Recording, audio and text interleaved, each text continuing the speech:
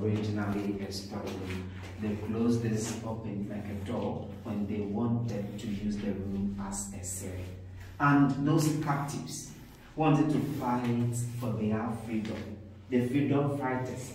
But the British referred to them as stubborn or rebellious ones. They suffered for long.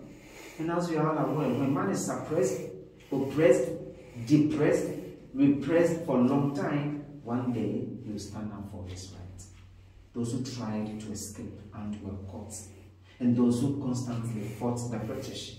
About 10 were chained together, pushed them in here, locked them up with first door, second door, third door, three doors.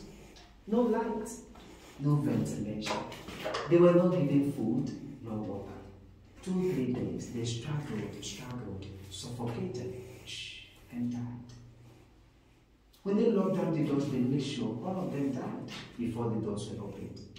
Meaning, even after three days, when they opened the doors and saw that one or two were still alive, they all shut the doors again, so they all died.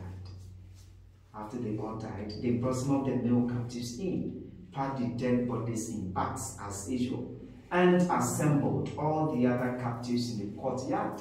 So those who came for the bodies in presence of those assembled, they turned the bodies into the sea. So virtually, they also what they did to those they brought here. So they were killed here, they were executed here just to serve as a deterrent to the other captives. So next time, they will not plan to escape or rebel. That is why the room is called condemned cell, in other words, room of no return.